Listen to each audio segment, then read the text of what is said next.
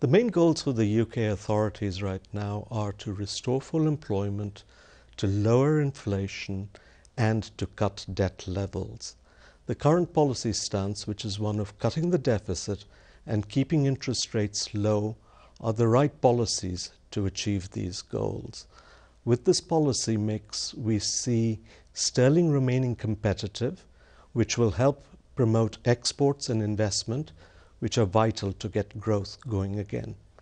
In the medium term, we expect growth to come to about 2.5% per year, but getting there, it could well be sluggish and bumpy.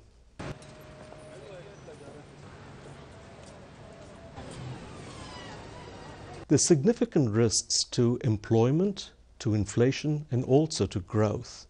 These risks arise because of uncertainty surrounding sovereign turmoil in parts of the Eurozone, from uh, headwinds from fiscal policy, also the housing market, and commodity prices remain volatile.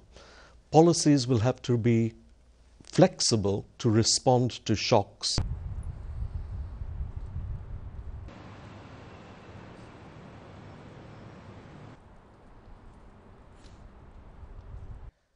The UK's financial sector is on the mend.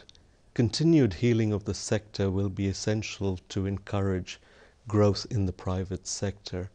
It's therefore very encouraging that banks built their capital buffers over the last year.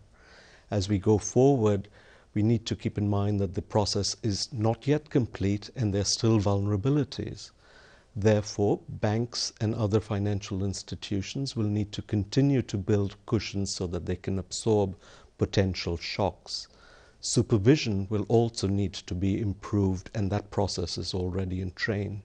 Finally, the UK's financial system is interconnected with the financial systems elsewhere in the world, and hence, strong international cooperation is going to be essential to ensure financial stability in the UK.